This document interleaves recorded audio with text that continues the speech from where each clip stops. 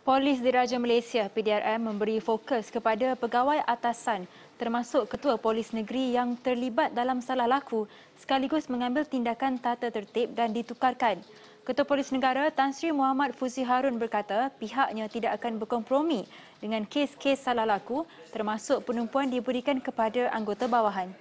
Antara uh, fokus yang kita beri keutamaan pada ketika ini termasuk apa ni penyelia-penyelia juga kita ambil tindakan termasuk contohnya ketua-ketua polis daerah. Dan ada juga KPKP kita ambil tindakan. Uh, okay, saya pun dah maklumkan ini banyak kali tapi perkara ini masih berlaku dan kita tak ada tak ada tidak berkompromi lah seperti mana saya sebut semalam.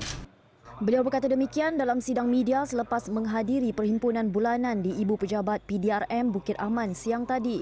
Tambah Muhammad Fuzi, pegawai dan anggota yang cenderung terlibat dalam salah laku ini adalah melibatkan mereka yang bertugas di barisan hadapan pasukan itu.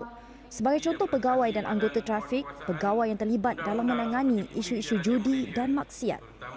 Kita amat duka cita sebenarnya dengan uh, pelibatan uh, pegawai dan anggota dalam uh, aktiviti ataupun kegiatan yang tidak bermoral ini khususnya melibatkan isu-isu rasuah dan untuk rekod saya sebutkan tadi pada tahun lalu ramai 149 orang warga PDM ditangkap atas pelbagai kesalahan rasuah.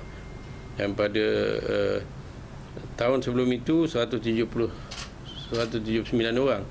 Walaupun ada sedikit penurunan tapi persepsi negatif itu masih masih tinggi dan kita sedang tangani Muhammad Fuzi berkata seramai 926 pegawai dan anggota PDRM dikenakan tindakan oleh Jabatan Integrasi dan Pematuhan Standard JIPS bagi tempoh Januari hingga Mei lalu.